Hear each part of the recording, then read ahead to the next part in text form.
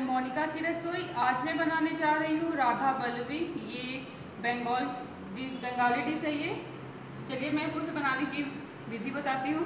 पहले हम दो तैयार करेंगे। दो तैयार करने के लिए मैंने यहाँ पे 250 ग्राम मैदा लिया है, जिसमें मैं डालूँगी।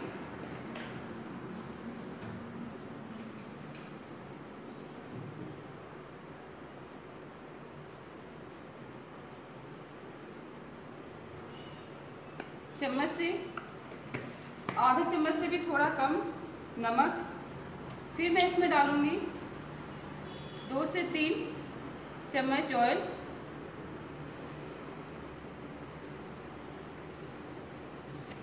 और इस सबको हम अच्छे से मिला के फिर थोड़ा थोड़ा पानी दे देके हमें दो तैयार करेंगे। एक बार में हमें पूरा पानी मतलब ज़्यादा से पानी नहीं डालना है। इसे अच्छे से मिला के और हल्का हल्का पानी देते हुए हमें इसे एक डो तैयार करना है।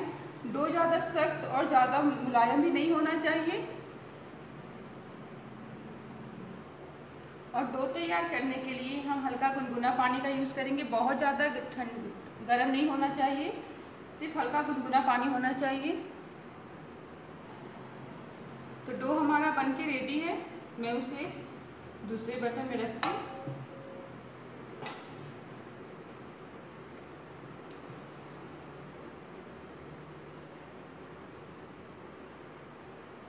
ज़रा सा ऊपर से मैं इस पर और ऑयल लगा दूँगी। और इसे हम ढक के 30 से 35 मिनट के लिए हम इसे रखेंगे रेस्ट करने के लिए। आटे मैदे ये जो हमारा डो है, उस, अब हम चलते हैं इसकी स्टफिंग का तैयारी करने। स्टफिंग के लिए हमें चाहिए ओवरनाइट फूला हुआ उड़द का दाल, जिसे भी मैं मिक्सर में ब्लेंड करूँगी। इसे बहुत ज़्यादा फाइन पेस्ट इसका नहीं बनाना है। दरदरा सा ऐसे पीसना है बहुत ज़्यादा मतलब मोटा भी नहीं रहना चाहिए और बहुत ज़्यादा ये फाइन पेस्ट भी इसका नहीं होना चाहिए। तो पहले मैं इसे फाइन पेस्ट तैयार कर लेती हूँ। तो दाल को मैंने पीस लिया है और अब इसमें जो हमें मसाले चाहिए, सौंफ, जीरा और लाल मिर्च को मैंने रोस्ट करके इसका एक पाउडर बना लिया है। फिर मैंने यहाँ पर लिया है गरम मसाला पाउडर नमक चाहिए, हींग चाहिए कुकिंग ऑयल और फिर यहाँ पे हमें चाहिए अदरक। लहसुन का पेस्ट। मैंने सिर्फ़ इसमें एक ही लहसुन डाला है, लहसुन ज़रूरत नहीं है, सिर्फ़ आप अदरक का ही पेस्ट बनाएँ। अब चलिए मैं आपको इसको बनाने की विधि बताती हूँ।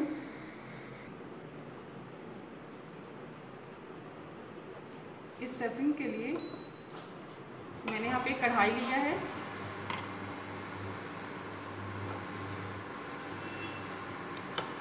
उसमें डालेंगे दो चम्मच कुकिंग ऑयल।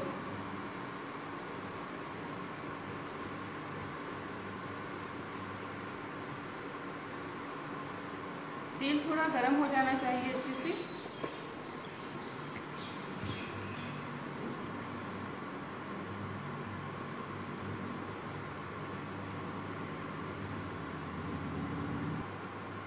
तेल गरम हो गया है। तो इसमें मैं डालूँगी ज़रा सा हींग पाउडर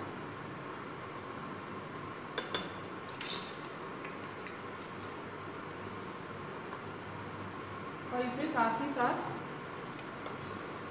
डालेंगे ये अदरक का पेस्ट।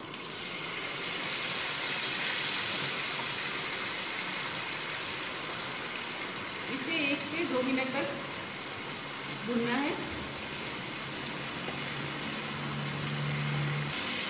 एक से दो मिनट भून लेने के बाद फिर इसमें ऐड करेंगे हम ये उड़द दाल पीसा हुआ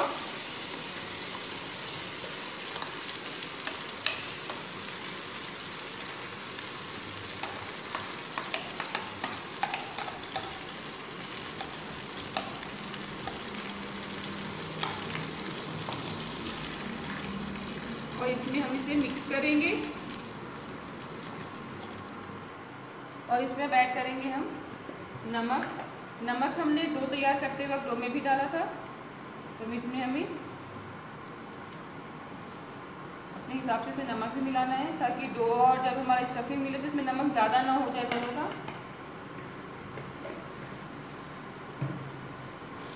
और इसे फिर भूनना है अच्छे से।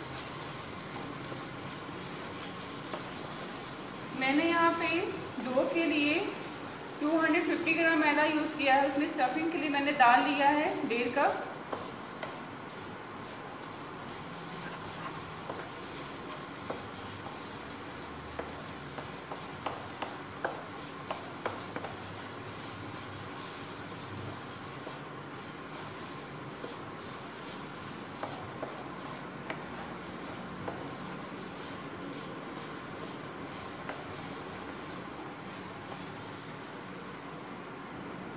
दाल को हमने सात से आठ मिनट तक डाल के इसमें भूनना है और अब इसमें मैं डालूँगी ये रोस्टेड मसाला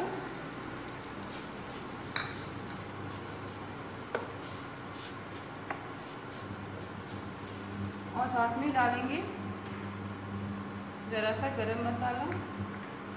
और ये सबको डाल के फिर हमें अच्छे से भून लेना है। मसाला को डाल के हम तीन से चार मिनट तक भुनेंगे। अगर आप इसमें चाहें तो थोड़ा सा चीनी भी डाल सकते हैं।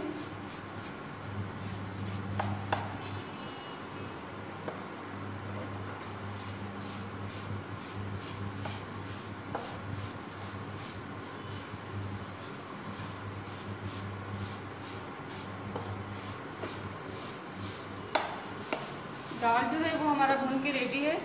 नखन को करूँगी ऑफ़ और इसे मैं ठंडा होने के लिए रखूँगी। उसके बाद हम फिर राधा पल्लवी बनाएँगे। हमारा जो स्टफिंग था वो ठंडा हो गया। मैंने उसे छोटे छोटे बॉल्स बना के रख लिए हैं। और जो हमारा डोस था तैयार किया हुआ, उसके आधे घंटे हो गए तो उसे फिर से एक बार हम अच्छे से मिला लेंगे।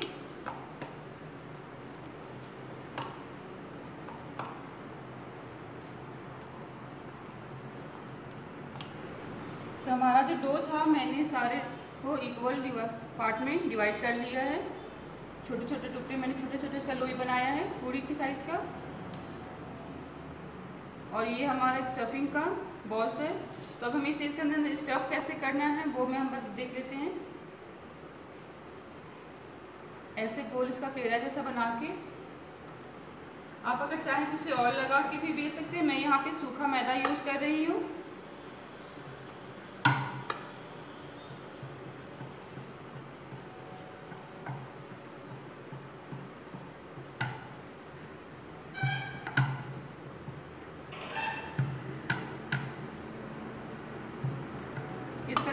मैंने यहाँ पे छोटा सा पूरी बनाया है और ये जो हमारे स्टफिंग का बॉल्स है, इसको मैंने अंदर रखा और इसको ऐसे अंदर करके हर तरह से अच्छे से कवर कर देना है। कवर करते वक्त हमें ध्यान रखना है, कहीं से इसका ये क्रैक ना हो, बिल्कुल बहुत अच्छे से इसे क्रैक फिल करके हमें इसे कवर करना है।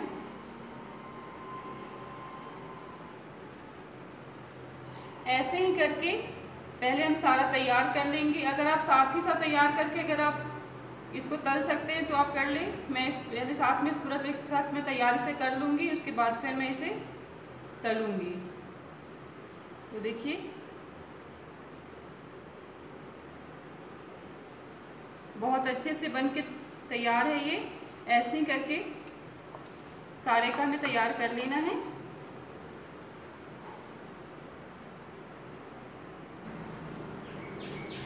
तो हमारा सारा फिल हो चुका है और मैं आपको इसे बेल के दिखा रही हूँ।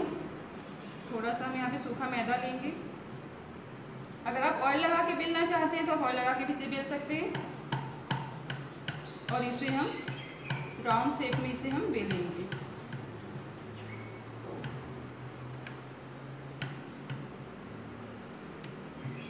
कहीं से मोटा, कहीं से पतला ऐसा नहीं रहना चाहिए। से इसे बेल ली ऐसे ही करके हम सारे पूड़ियों को बेल लेंगे और फिर मैं सबको तल के दिखाती हूँ। तो मैंने सारे पूड़ियों को बेल के तैयार कर लिया है और हमारा तेल भी गर्म हो चुका है। तो तेल गर्म हमारा हुआ है कि नहीं हुआ, इसे चेक करने के लिए इसमें छोटा सा ग्लोई डालेंगे। तो देखिए, तेल हमारा गर्म हो गया है। तो अब इस, ये हमारा पूरी तलने के लिए बिल्कुल रेडी है।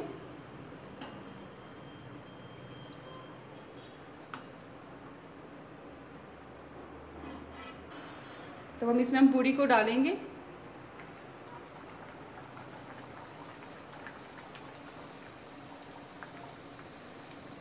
वो तल के खुद ही ऊपर हो जाता है।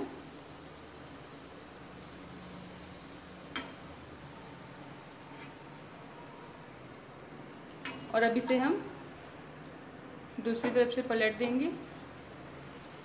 तो देखिए कितना खूबसूरत हमारा ये फुला फुला राधा बल्लवी बन के तैयार हो रहा है।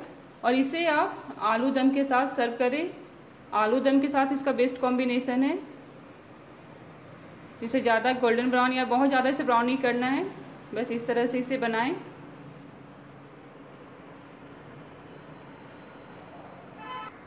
तो देखिए बन के तैयार है हमारा राधा बल्लवी। आप बिल्कुल इसे इसी तरह से बनाएँ। बहुत ही अच्छा बनेगा।